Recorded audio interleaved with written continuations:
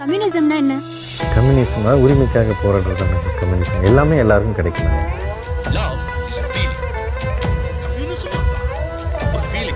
Red colour shirt போட்டிருப்பீங்க. ம். இதுக்கு ஏதாவது உள்ளர்த்தம்? உள்ள இருந்த ஒன்றும் இல்லை நான் பேசிக்காகவே கம்யூனிஸ்ட் நான். நான் சொல்றேன் எனக்கு ஜாதி கிடையாது. அது பொய்யே கிடையாது. சொல்ல சொல்லுங்க ஒரு அரசியல் ஒரு அரசியல்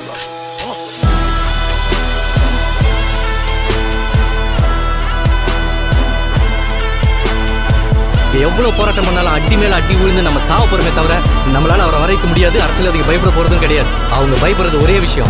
அவங்க பதவி.